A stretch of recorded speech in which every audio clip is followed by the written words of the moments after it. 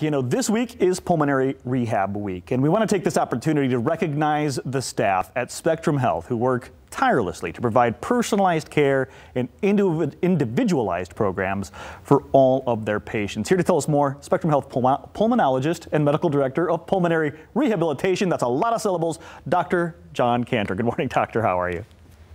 I'm great. Good morning. It's a pleasure to be with you during uh, Pulmonary Rehabilitation Week. Yeah, this is a big week for you guys. Well, let's start with the definition for those watching who may not know what pulmonary rehab means. So it's a, an eight-week program, plus or minus. Uh, there's two sessions per week, um, and basically it's a supervised uh, exercise and education program that's conducted by a team of uh, professionals that are specially trained for this uh, program. Uh, they're respiratory therapists, and exercise specialists. They're very dedicated and hardworking, and they design an exercise program for patients with chronic lung disease that's tailored to their needs, uh, desires, and their abilities. Uh, there's also an education component, uh, primarily uh, informal lectures every week. Um, the topics vary. Uh, they can be uh, more information about the patient's underlying disease and more details about the prognosis medications, uh, how to take their inhalers, oxygen therapy, smoking cessation, um, uh, various topics like that. It sounds like there's a lot going on there, but in short, that pulmonary rehab means a, a supervised exercise program. Well, how do you measure success? I mean, most people go into the gym, they measure success by how much they can lift or how many reps they can do. What, what does success look like in this exercise program? Yeah, so it's a little bit different than that.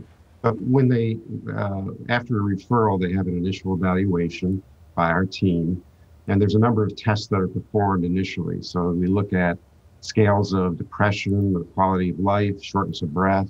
But we actually have them walk, uh, do a six-minute walk to see how far they can walk, and then that's repeated uh, after the eight weeks. And almost invariably, we see uh, significant improvements in all those measures. Um, but most importantly, I think it's it's really important to, to bring this out, is that patients who participate fully in the program uh, and complete the program uh, are uh, less likely to get sick uh, after that. They're less likely to have flare-ups or exacerbations of their disease. Um, they're less likely to end up in the emergency room or in the hospital uh, from a flare-up. Uh, and studies have shown that, and it, it also shown that patients who do have flare ups uh, have a worse prognosis from their disease, uh, and they have an accelerated decline in their lung function uh, from their disease. So I think that's a really important beneficial aspect of the program.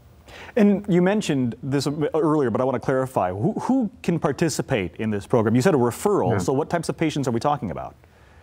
So virtually anybody with uh, chronic lung disease uh, can participate. So most of our patients are patients with chronic obstructive pulmonary disease, but we also see quite a few patients with asthma, uh, pulmonary fibrosis, uh, and even patients who are pre and post lung transplant. Hmm. Uh, and then there's various numbers of other patients with chronic lung disease that we see as well.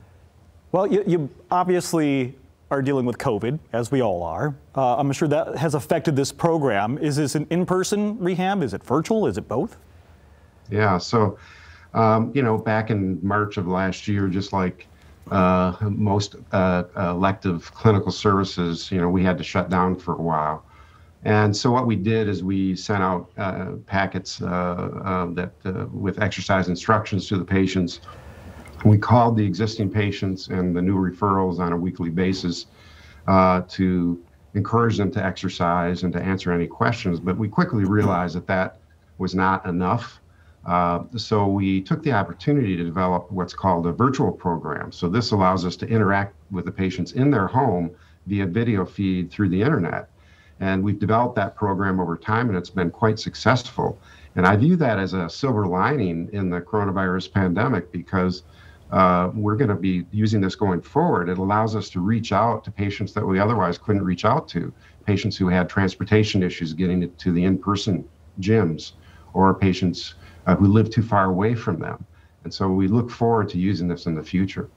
Well, Dr. Cantor, we want to once again recognize and thank you and your colleagues, the entire staff, uh, for what they are doing. uh, spectrumhealth.org slash patient care slash pulmonology. Of course, that's a long link, so we'll, we'll give you that link at fox17online.com if you're interested in more information. Doctor, thanks again for the time this morning.